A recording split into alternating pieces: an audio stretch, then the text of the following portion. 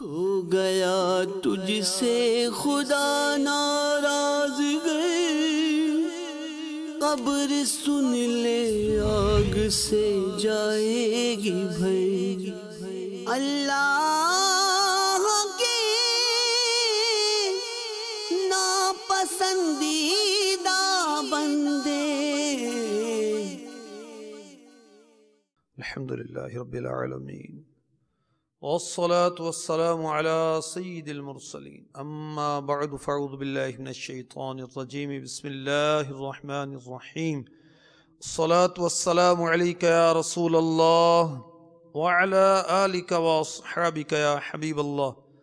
الصلاة والسلام عليك يا نبي الله وعلى آلك وأصحابك يا نور الله.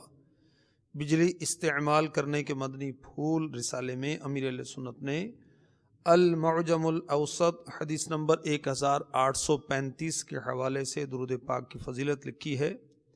حضور اکرم نور مجسم صلی اللہ تعالی علیہ وآلہ وسلم کا فرمان رحمت نشان ہے۔ جس نے کتاب میں مجھ پر درود پاک لکھا، جب تک میرا نام اس میں رہے گا، فرشتے اس کے لیے استغفار کرتے رہیں گے یعنی مغفرت کی دعا کرتے رہیں گے۔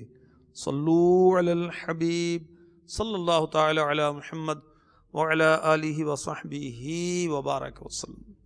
شفیع روز قیامت نبی رحمت صلی اللہ تعالی علیہ وسلم کا فرمان علی شان، نیت المؤمن خیر من عملی مسلمان کی نیت اس کے عمل سے بہتر ہے۔ یاد رکھیں، نیک اور جائز کام میں جس قدر اچھی اچھی نیتیں کریں گے، اجر و ثواب بڑھتا رہے گا۔ الحمد للہ آپ مدنی چینل دیکھ رہے ہیں۔ کتنا اچھا کام ہے۔ سلسلے میں شامل ہیں، کتنا اچھا کام ہے۔ اچھی اچھی نیتیں کریں۔ جس قدر اچھی نیتیں زیادہ کریں گے، آپ کا اجر و ثواب بڑھتا چلا جائے گا۔ مثلا اللہ تبارک و تعالیٰ کی رضا کے لیے اس سلسلے میں شرکت کروں گا۔ ثواب پانے کے لیے اس سلسلے میں شرکت کروں گا۔ نہایت ادب کے ساتھ بیٹھوں گا۔ دوزانوں ادب کے ساتھ بیٹھنے کا انداز ہے۔ توجہ کے ساتھ سنوں گا۔ حسب موقع عز و جل کہوں گا۔ یا جل جلالہ کہوں گا صلی اللہ تعالی علیہ وآلہ وسلم کہوں گا، حسب موقع رضی اللہ تعالی عنہ کہوں گا، آیات قرآنیاں پڑھی جائیں گی، انتہائی توجہ کے ساتھ سنوں گا رحمت الہی کی امید پر۔ نیکی کی دعوت دی گئی، اس پر عمل کروں گا، ممکن ہوا تو اوروں تک بھی پہنچاؤں گا۔ اس سال ثواب کی بھی نیت کی جا سکتی ہے۔ اور اس سال ثواب عمل سے پہلے بھی ہو سکتا ہے، عمل کے بعد بھی ہو سکتا ہے۔ میں بھی نیت کرتا ہوں، آپ بھی نیت کر لیجیے کہ میرے نام اعمال میں اللہ طواب عز و جل کے کرم سے جو بھی ثواب ہے، میں اسے اپنے پیارے نبی رسول ہاشمی، مکی مدنی، محمد عربی صلی اللہ تعالی علیہ وآلہ وسلم کی پاک بارگاہ میں پیش کرتا ہوں۔ آپ کے وسیلے سے سارے نبیوں، رسولوں علیہ صلاۃ والسلام کی پاک بارگاہوں میں پیش کرتا ہوں۔ سارے صحابہ و صحابیات کو نظر کرتا ہوں، سارے اولیاء کو پیش کرتا ہوں، سارے مسلمین و مسلمات کو پیش کرتا ہوں، بالخصوص اپنے مرشید حضرت علامہ مولانا محمد الیاس ستار قادری رضوی ضیائی، دامت برکات علیہ آپ کے اولاد، آپ کے والدین، آپ کے عزیز و اقربا کے حق میں پیش کرتا ہوں۔ سلسلہ ہے اللہ کے ناپسندیدہ بندے۔ اور پچھلے سلسلوں میں عرض کیا گیا کہ کفار ناہنجار رب غفار عز و جل کی بارگاہ میں ناپسندیدہ ہیں۔ مشرقین منافقین ناپسندیدہ ہیں۔ بری باتیں کرنے والے، گالیاں بکنے والے، غیبتیں کرنے والے، گندی باتیں کرنے والے، اپنے عیب ظاہر کرنے والے، لوگوں کے عیب ظاہر کرنے والے۔ اللہ کی بارگاہ میں ناپسندیدہ چغل خور ناپسندیدہ، تکبر کرنے والے مسلمانوں کو اپنے سے کمتر اور حقیر جاننے والے اللہ کی بارگاہ میں ناپسندیدہ ہیں۔ نا شکر گزار یہ بھی رب غفار عز و جل کی پاک بارگاہ میں ناپسندیدہ ہیں۔ ظلم کرنے والوں کو بھی اللہ تبارک و تعالیٰ پسند نہیں فرماتا۔ اللہ تعالیٰ ان سے ناراض ہے۔ اسی طرح اسراف کرنے والے فضول خرچ کرنے والے، یہ بھی اللہ کی بارگاہ میں پسندیدہ نہیں۔ تو فضول خرچنے سے کیا مراد ہے؟ سنیے۔ اور وہ آیات سنیے جس میں اللہ تبارک و تعالیٰ نے ارشاد فرمایا کہ فضول خرچنے والوں کو اللہ پسند نہیں فرماتا۔ چنانچہ پارہ آٹھ سورہ انعام کی آیت نمبر ایک سو اکتالیس میں ارشاد ہوتا ہے۔ وَلَا تُصْرِفُوا إِنَّهُ لَا يُحِبُّ ترجمہ کنز ایمان اور بے جا نہ خرچو۔ بے شک بے جا خرچنے والے اسے پسند نہیں۔ اب اسراف کا کیا مطلب ہے؟ بے جا خرچ کرنے سے کیا مراد ہے؟ سنیے خزائن العرفان جو کہ ترجمہ کنز ایمان پر حاشیہ ہے۔ اور اسے لکھا ہے صدر الفاظل حضرت علامہ مولانا مفتی حکیم حافظ سید محمد نعیم الدین مراد آبادی رحمۃ اللہ علیہ۔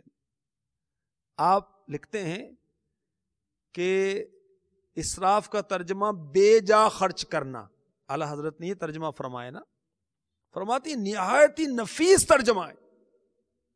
اب سنیے، اگر کل مال یعنی سارا مال خرچ کر ڈالا اور اپنے عیال کو، بال بچوں کو کچھ نہ دیا، خود فقیر بن بیٹھا۔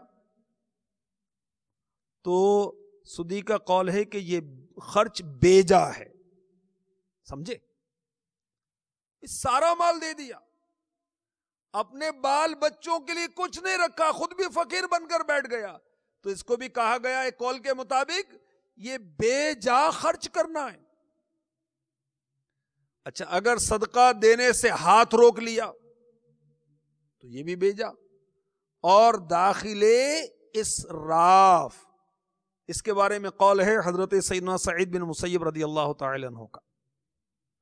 اور حضرت سفیان کا قول کیا ہے؟ رحمت اللہ تعالی علیہ۔ اللہ عز و جل کی طاعت یعنی فرما برداری۔ اللہ عز و جل کی طاعت کے سوا اور کام میں جو مال خرچ کیا جائے وہ قلیل بھی ہو تو اسراف ہے۔ ایک اور کال سنیے۔ یہ سب اقوال خزائن العرفان سے عرض کیے جا رہے ہیں۔ زہری علی رحمہ کا قول ہے۔ اس کے معنی یہ ہے کہ معاشیت میں خرچ نہ کرو، گناہ میں خرچ نہ کرو۔ مجاہد رحمت اللہ تعالی نے کہا حق اللہ میں کوتا کرنا اسراف ہے۔ اور اگر ابو قبیس پہاڑ سونا ہو، غالباً یہ وہی پہاڑ ہے جس پر کھڑے ہو کر میرے اکالی سلاط اسلام نے چاند کو دو ٹکڑے کیا تھا۔ مکہ مکرمہ میں، خانہ کعبہ کے قریب ہی۔ اگر اس کو دنیا کا پہلا پہاڑ بھی کہا گیا، اگر ابو قبیس پہاڑ سونا ہو اور اس تمام کو راہ خدا میں خرچ کر دو، تو اسراف نہ ہو۔ اور اگر ایک درہم یعنی چاندی کا سکہ، ایک درہم معصیت میں یعنی گناہ میں خرچ کرو تو اسراف۔ بے جا خرچ کرنے کو اللہ پسند نہیں کرتا۔ بے جا خرچنے والوں کو اللہ پسند نہیں فرماتا۔ اور اس کا ہمیں اقوال بتائے گئے کہ کل مال خرچ کر دے اہل و عیال کو کچھ نہ دے، خود بھی فقیر بن کر بیٹھ جائے، تو اس کو بھی کہا گیا کہ یہ فضول خرچنا ہے۔ اور اللہ کی راہ میں دینے سے ہاتھ روک ہی لے۔ یہ بھی بے جائے اور یہ بھی اسراف ہے۔ اور یہ بھی کہا گیا کہ اللہ تبارک و تعالی کی فرما برداری کے علاوہ کسی کام میں بھی مال خرچ کیا، وہ تھوڑا بھی ہے تو یہ بھی فضول خرچی ہے۔ اور یہ بھی قول بتایا گیا کہ گناہ میں خرچ کرنا یہ فضول خرچی ہے۔ اللہ کی راہ میں سونے کا پہاڑ خرچ کر دیا، یہ فضول خرچی نہیں ہے، اسراف نہیں ہے۔ اور گناہ میں ایک درہم بھی خرچ کیا تو یہ اسراف ہے۔ حضرت علامہ جلال الدین سیوتی شافعی علی رحمۃ اللہ کبھی تفسیر در منصور میں فرماتے ہیں، اگر اللہ تعالیٰ کی نافرمانی میں ایک سا بھی خرچ کرے تو وہ اسراف، تھوڑا سا بھی کرے وہ اسراف۔ تفسیر نور عرفان میں حضرت قبلہ مفتی احمد یار خان نعیمی رحمۃ اللہ تعالی علیہ فرماتے ہیں، ناجائز جگہ خرچ کرنا بھی بیجا خرچ ہے اور ضرورت سے زیادہ خرچ بھی بیجا خرچ ہے۔ اسی طرح اعضائے وضو کو چار بار دھونا اسراف مانا گیا ہے نماز کے احکام۔ اس کے اندر جو وضو کا طریقہ پہلا رسالہ ہے، اس کے اندر وضو میں کس طرح اصراف کیا جاتا ہے؟ اس کی مثالیں لکھی ہوئی اس کی وضاحتیں لکھی ہوئی اس وضو میں جو اصراف ہوتا ہے، اس سے کس طرح بچا جا سکتا ہے؟ اس کا بھی لکھا ہوا ہے۔ تو حد سے زیادہ خرچ کرنا یہ ہے اسراف۔ تو صدقہ بھی دیں تو اپنے اہل و عیال کے لیے بھی کچھ رکھ لیں۔ اور صدقہ روک کر یہ بھی حد سے تجاوز نہ کریں۔ اپنی نفسانی اغراض کے لیے خرچ کرنا، اللہ کی رضا کے لیے خرچ نہ کرنا، یہ بھی اسراف ہے۔ اب اللہ کی رضا کے لیے خرچ کرے تو وہ فضول نہیں ہے۔ اور اللہ تبارک و تعالی فضول خرچوں کو پسند نہیں کرتا۔ اللہ فضول خرچوں سے ناراض ہے۔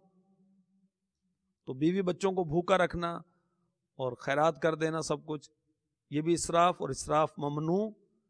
اور قبلہ مفتی احمد یار خان نعیمی رحمۃ اللہ تعالی تفصیل نعیمی میں آپ ایک جگہ لکھتے ہیں، لا صرف فی الخیری و ان مثل احدن یہ عربی کا مقولہ ہے۔ نیک کام میں خرچ کرنا اسراف نہیں، اگرچہ احد پہاڑ کے برابر بھی خیرات کرے۔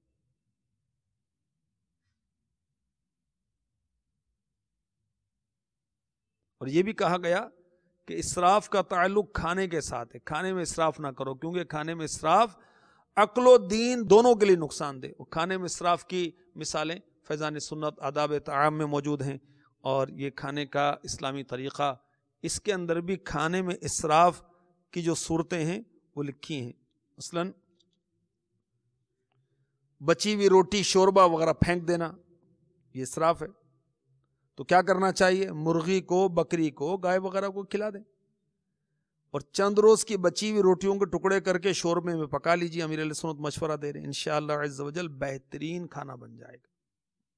تو اسراف یعنی فضول خرچنے والوں کو اللہ عز و جل پسند نہیں فرماتا۔ پارہ آٹھ سورہ اعراف کی آیت نمبر اکتیس میں ارشاد ہوتا ہے۔ يا بني آدم خذوا زينتكم عند كل مسجد وكلوا واشربوا ولا تسرفوا إنه لا يحب المسرفين.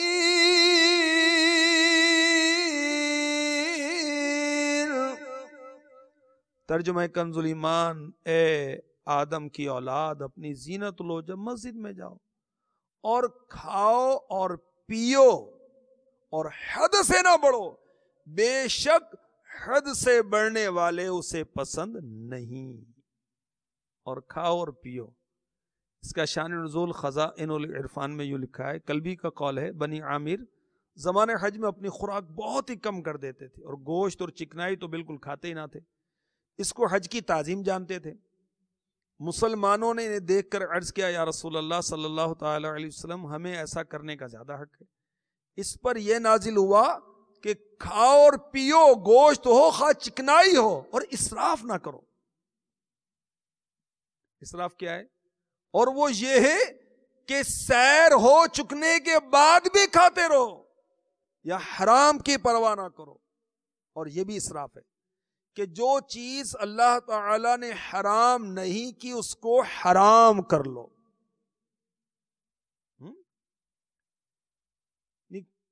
پیٹ بھر گیا، سیر ہو گئی، اس کے بعد بھی کھاتے رہنا، یہ بھی اسراف ہے۔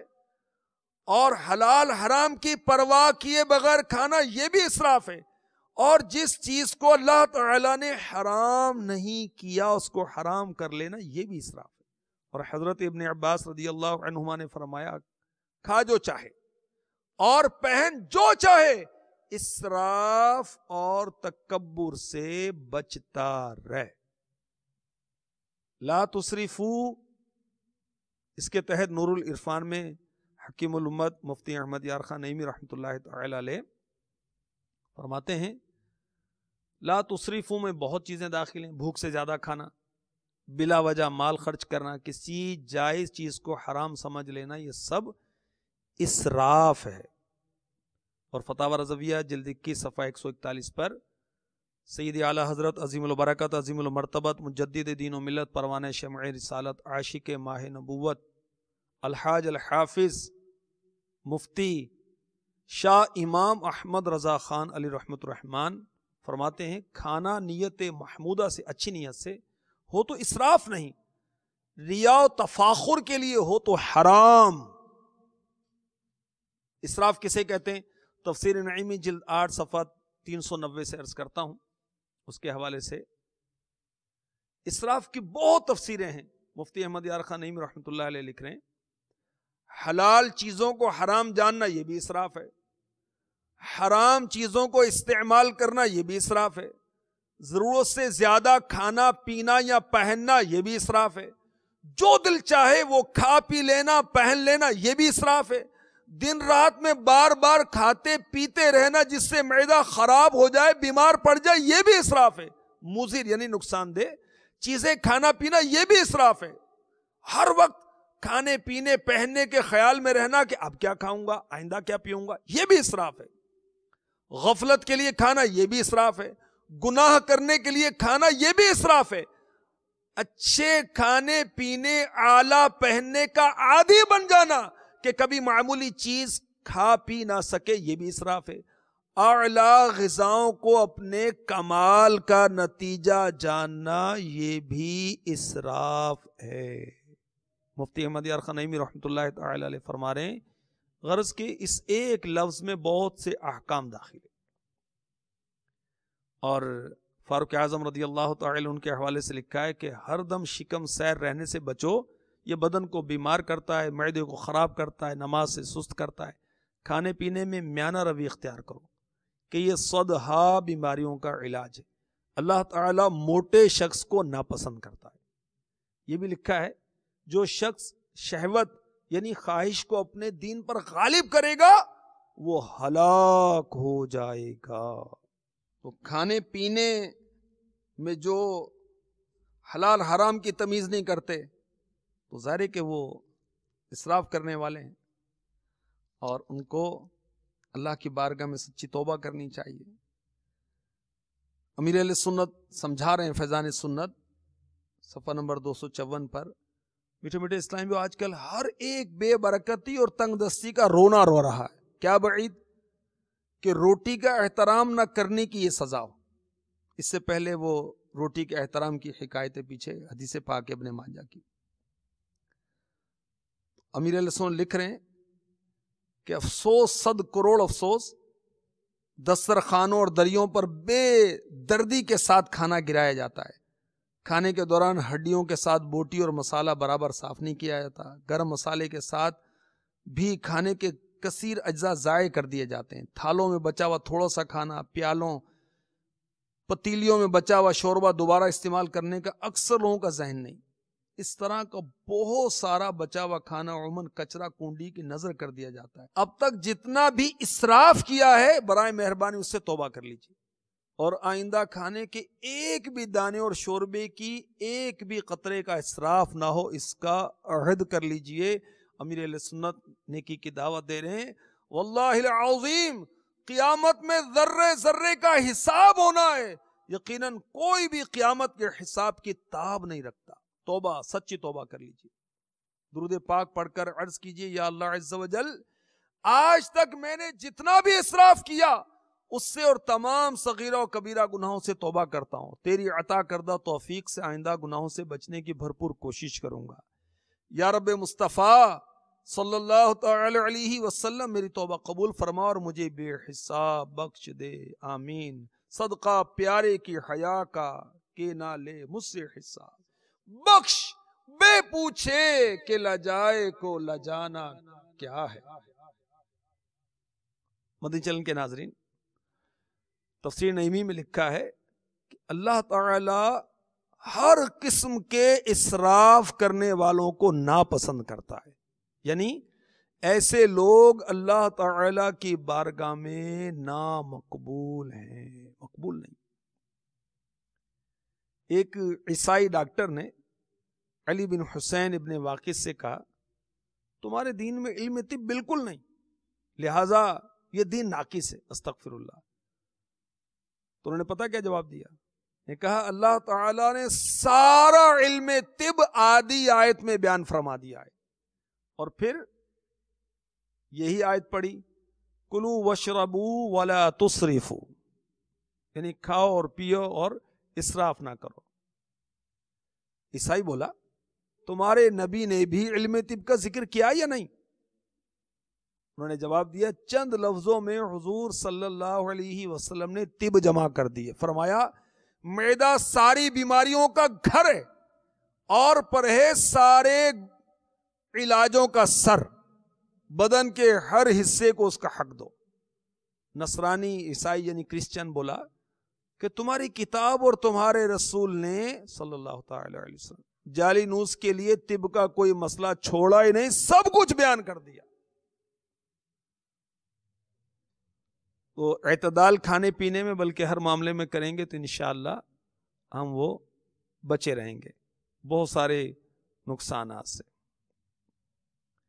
اور اللہ والوں نے تو یہ کہا کہ وہ لکما جو اللہ کی رضا کے لیے نہیں ہے، نفس پروری کے لیے ہے، وہ اسراف ہے۔ اور جو اسراف کرنے والے ہیں، ان کو تو قرآن نے شیطان کا بھائی کہا ہے۔ اب اسراف کرنے والوں کو شرم کرنی چاہیے۔ چنانچہ پارہ پندرہ سورے بنے اسرائیل کے آیت نمبر ستائیس میں نشاد ہوتا ہے۔ ان المبذرین كانوا اخوان الشیاطین وكان الشیطان لربه كفورا بے شک اڑانے والے شیطانوں کے بھائی ہیں کہ ان کی راہ چلتے ہیں اور شیطان اپنے رب کا بڑا نا شکرا ہے تو اس کی راہ اختیار کرنا نہ چاہیے اب اسراف یعنی ضرورت سے زیادہ خرچنے والوں کو شیطان کا بھائی قرار دیا گیا۔ نور العرفان میں مفتی مدیار خان نعیمی رحمۃ اللہ تعالی علیہ لکھتے ہیں، جائز مقام پر ضرورت سے زیادہ خرچ کرنا ہے اسراف اور ناجائز خرچ کو تبذیر کہا جاتا ہے۔ تبذیر اسراف سے زیادہ برا ہے۔ اس لیے تبذیر پر سخت وعید ہے۔ معلوم ہوا سینما جوا، شراب خوری اور ناجائز جگہ پر خرچ کرنا فضول خرچی ہے، جس کی سزا سخت ملے گی۔ جیسے اچھی جگہ خرچ کرنا ثواب ہے، ایسے ہی بری جگہ خرچ کرنا گناہ ہے۔ تو کتنے احمق ہیں جو فلمیں ڈراموں میں خرچ کرتے ہیں، جوئے میں خرچ کرتے ہیں۔ وہ تو تبدیر کے مرتکب ہیں۔ شراب پینے میں مال خرچ کرتے ہیں، ناجائز جگہوں پر ریا و تفاخر پر خرچ کرتے ہیں۔ اب یہ فضول خرچ کرنے والوں کو شیطان کا بھائی کیوں کہا گیا؟ اس کے بارے میں لکھا ہے کہ شیطان برے کام کرتا ہے، اس طرح وہ بھی برے کام کرتے ہیں جو فضول خرچ کرنے والے ہیں۔ اور یہ بھی کہا گیا کہ فضول اڑانا، فضول خرچی کرنا یہ حماقت ہے۔ اور رب تعالی کی فرما برداری کو ترک کر کے گناہ کرنے میں شیطان کے مانی دیں۔ ایسے لوگ۔ یہ شیطانی کام کر رہے ہیں، یہ سچے مسلمان ایسے نہیں کرتے، اس لیے ان کو کہا گیا۔ تو فضول خرچی کی مذمت اور اس کے برے نتائج بتانے کے لیے یہ بتایا گیا۔ تو اللہ ہمیں حد سے بڑھنے سے بچائے اور اعتدال نصیب فرمائے۔ مطلب شادی، بیاہ، دیگر تقاریب ہوتی ہیں تو فضول خرچی کے ساتھ ساتھ ریا کاری کا جذبہ بھی ہوتا ہے اور احساس نہیں ہوتا۔ تو گلاس میں بچا ہوا پانی ہے، صاف ستھرا مسلمان کا جھوٹا ہے، مسلمان کے جھوٹے میں شفا ہوتی، اس کو خام خواہ پھینک دینا، ضائع کرنا، یہ بھی اسراف ہے۔ سنی بہشتی زیور میں لکھا ہے۔ اور اسراف حرام ہے۔ روٹی کا کنارا توڑ کر ڈال دینا، بیچ کا حصہ کھا لینا، یہ بھی اسراف ہے۔ کنارے کچے رہیں گے، اور بات ہے۔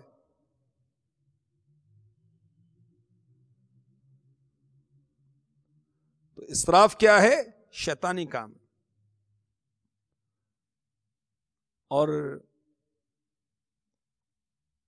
جو اللہ کے لیے ہے، اس میں اسراف نہیں ہے۔ دیکھیں۔ لا خیر فل اسرافی ولا اسراف فل خیری یہ علماء نے کہا۔ اسراف میں کوئی بھلائی نہیں اور بھلائی کے کام میں خرچ کرنے میں کوئی اسراف نہیں ہے۔ مثلا اعلی حضرت سے سوال ہوتا ہے۔ ملفوظات اعلی حضرت مکتبۃ المدینہ نے بہت پیارے انداز میں شائع کی، اس میں دیکھ لیجیے کہ میلاد شریف میں میں خلاصہ عرض کر رہا ہوں کہ وہ چراغا کرنا زیب و زینت اسراف ہے یا نہیں ہے؟ تو اعلیٰ حضرت نے جواب دیا، علماء فرماتے ہیں، لا خیر فی الاسرافی ولا اسراف فی الخیری اسراف میں کوئی بھلائی نہیں اور بھلائی کے کاموں میں خرچ کرنے میں کوئی اسراف نہیں۔ جس شے سے تعظیم ذکر شریف مقصود ہو، ہرگز ممنوع نہیں ہو سکتی۔ لہراؤ سبز پرچم۔ اے آقا کے عاشقو، گھر گھر کرو چراغا کے سرکار آ گئے۔ ایک بزرگ کا احیاء العلوم میں امام غزالی نے لکھا ہے، دعوت کا اہتمام کیا تو ہزار چراغ جلائے۔ کس نے عرض کیا؟ آپ نے اسراف کیا۔ فرمائے اندر جاؤ۔ جو چراغ میں نے اللہ کے لیے نہیں جلایا، اسے بجھا دو۔ وہ صاحب اندر گئے، چراغ بجھانے کے لیے۔ ایک چراغ بھی بجھا نہ پائے تو اعتراض سے باز آ گئے۔ اللہ ہمیں اسراف سے بچائے۔ وہ لوگ جو وضو میں تیز نل کھول کر بے تحاشا پانی بڑھاتے ہیں، پھر بعد میں آستین چڑھاتے ہیں۔ سر کا مسا کرتے وقت نل اکثر چھوڑ دیتے ہیں، پانی بہاتے ہیں۔ تو اللہ سے ڈریں۔ قیامت کے روز ذرے ذرے کا حساب ہوگا۔ اعلی حضرت نے یہ سمجھایا ہے کہ نہر جاری میں بھی اسراف کی صورت، کہ وہ نہر جاری اس کے اندر بھی اسراف کی صورت ہو سکتی۔ میرے اکالی سلاۃ اسلام نے ایک شخص کو وضو کرتے دیکھا، فرمایا، اسراف نہ کر، اسراف نہ کر۔ اسی طرح جو ایک تو عام گھر کا پانی ہے، اس کو ضائع کرنا، مسجد اور مدرسے کے پانی کو ضائع کرنا، یہ تو وف کا حکم رکھتا ہے۔ اس میں تو اور بھی زیادہ احتیاط کرنا چاہیے۔ اعلی حضرت رضی اللہ تعالیٰ عنہ فرماتے ہیں فتح رضویہ شریف تخری شدہ، جلد اول، صفحہ چھ سو اٹھاون۔ اگر وقف پانی سے وضو کیا تو زیادہ خرچ کرنا بال اتفاق حرام ہے، کیونکہ اس میں زیادہ خرچ کرنے کی اجازت نہیں دی گئی۔ اور مدارس کا پانی اسی قسم کا ہوتا ہے جو کہ صرف ان ہی لوگوں کے لیے وقف ہوتا ہے جو شرعی وضو کرتے ہیں۔ اب گھر کے اندر پانی ضائع کرنے کی کھلی چھوٹ ہو گئی، ایسا نہیں۔ اس میں بھی شرعی وضو سیکھ کر اس کے مطابق کرنا چاہیے۔ تو اسراف سے بچنے کی وہ احتیاطیں بھی یہ وضو کا طریقہ جو نماز کے حکام کا رسالہ ہے، اس کے اندر تفصیل دیا ہوا ہے۔ تو احتیاط کریں۔ ناک میں پانی چڑھانا ہے تو آدھا چلو بھی کافی ہے، تو کیوں چلو بھریں؟ اور اس طرح پانی نہ ڈالیں کہ پانی ضائع ہو، جتنی ضرورت ہے اتنا۔ اس طرح ٹوٹی اتنی کھولنے کی کیا ضرورت ہے بھائی؟ کم کھول دیں، درمیانی کھولیں، کام چل جائے۔ اور اگر اعضائے وضو پہلے سے بھیگے ہوئے ہوں تو بھی پانی کم استعمال ہوگا۔ اور لوٹے سے وضو اگر کوئی کرے تو اس میں تو پانی کم استعمال ہوتا ہے۔ ٹوٹی سے وضو کرنے میں زیادہ استعمال ہوتا ہے۔ تو اسراف سے بچنے کا ذہن بنانا چاہیے۔ اللہ کی بارگاہ میں توبہ کرنی چاہیے، جو بھی اسراف ہوا۔ اور وضو، غسل بھی سنت کے مطابق ہو، پانی بھی کم سے کم خرچ ہو، اس پر غور کرنا چاہیے۔ وہ قیامت کا خوف پیدا کریں گے تو آسان ہو جائے گا۔ نل کھولتے وقت احتیاط کریں۔ ایک ہاتھ نل کے دستے پر رکھیں اور ضرورت پوری ہونے پر بار بار نل کو بند کرتے رہیں۔ لوٹے سے وضو کرنے کا عرض کیا۔ اسی طرح وہ احتیاط کریں، جب بھی مسواک کر رہے ہیں تو نل بند کر دیں، کلی کر رہے ہیں تو بند کر دیں، غرغرہ کر رہے ہیں تو پھر بند کر دیں، ناک کی صفائی کر رہے ہیں، بند کر دیں۔ داڑھی، ہاتھ پاؤں کی انگلیوں کا خلال کر رہے ہیں مسا کر رہے ہیں تو بھی نل کو بند کر دینا چاہیے۔ وہ سردیوں میں پانی پائپ کے اندر ٹھنڈا جمع ہے تو اس کو بہاتے رہتے ہیں، تو یہ بھی درست نہیں ہے۔ پانی بچا ہوا ہے، پینے کے بعد اس کو پھینک دینا، اس کو ڈال دینا چاہیے۔ اس طرح چھوٹا سا برتن دھونا اور پانی بہت تیز چلاتے ہیں، یہ بھی درست نہیں۔ اسی طرح لائٹ کا استعمال کرنے میں بھی بہت زیادہ وہ بے احتیاطی ہوتی ہے۔ تو بجلی استعمال کرنے کے مدنی پھول۔ اس میں امیر علیہ سنت نے بہت رہنمائی کی ہے۔ اور ولا تبذر تبذیرہ اور فضول نہ اڑا یہ آیت مبارکہ کا حصہ لکھا اور اس کے بعد لکھا، اس حکم قرآنی کے پیش نظر ہمیں چاہیے کہ بجلی کے فضول استعمال سے بھی بچیں۔ اور مکان، دکان، کارخانہ، دواخانہ، مسجد خان کا مدرسہ، درس کا دن رات بلب جلتے رہتے ہیں، پنکھے چلتے رہتے ہیں، خالی کمروں میں پنکھے چل رہے ہیں، بتیاں چل رہی ہیں ٹوائلٹس میں کوئی بھی نہیں ہے اور بلب روشن ہے، برآمدوں میں فضول بلب روشن ہے۔ جہاں ضرورت ہے، ضرور چلائیں۔ امیر علیہ سنت سمجھایا کرتے ہیں، بھی ضرورت ہے تو جتنی ضرورت ہے ضرور چلائیں۔ نئی ضرورت تو دوسرا بلب بھی کیوں روشن کیا؟ تو اللہ تبارک و تعالی ہمیں اپنے پسندیدہ بندوں میں شامل فرمائے، ہمیں اپنے ناپسندیدہ بندہ بننے سے بچائے اور ناپسندیدہ افعال سے بچائے۔ تو اسراف کرنے والے، فضول خرچ کرنے والے، یہ اللہ کو پسند نہیں ہے۔ اور بہت پیاری تفسیر خزائن عرفان میں فرمائی گئی جو شروع میں میں نے عرض کی، اگر سارا مال خرچ کر دیا، اپنے بال بچوں کو کچھ نہ دیا، خود بھی فقیر بن کے بیٹھ گیا، تو اس کو بھی کہا گیا ایک قول کے مطابق کہ یہ بھی فضول خرچی ہے، یہ بھی اسراف ہے۔ اور اللہ کی راہ میں خرچ کرنے سے بالکل یہ ہاتھ روک لیا، تو یہ بھی بے جائے اور یہ بھی اسراف ہے۔ اور گناہ کے کاموں میں تھوڑا سے بھی خرچ کیا یہ بھی فضول خرچی ہے، یہ بھی اسراف ہے۔ تو کھانے میں، پہننے میں، لائٹ استعمال کرنے میں، وضو کرنے میں، ہر ہر معاملے میں ہمیں احتیاط کرنی ہے اور میانہ روی اختیار کرنی ہے۔ اور گناہوں کے کاموں میں خرچ کرنا، توبہ توبہ۔ اللہ تعالیٰ وہ فضول خرچوں کو پسند نہیں فرماتا، ان سے ناراض ہے۔ تو کیوں ہم ایسا کریں؟ اللہ ہمیں اپنا خوف عطا فرمائے۔ اور اپنے پسندیدہ بندوں میں شامل فرمائے، اسراف کی جو بھی صورتیں ہیں، اس سے ہمیں بچائے۔ مایوس ہو کے سب سے میں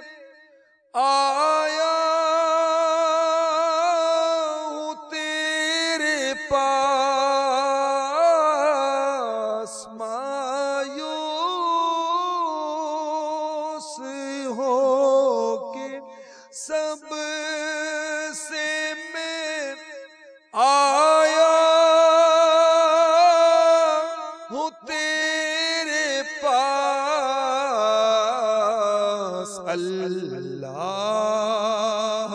کر لے ٹوٹے ہوئے دل کو تو پسند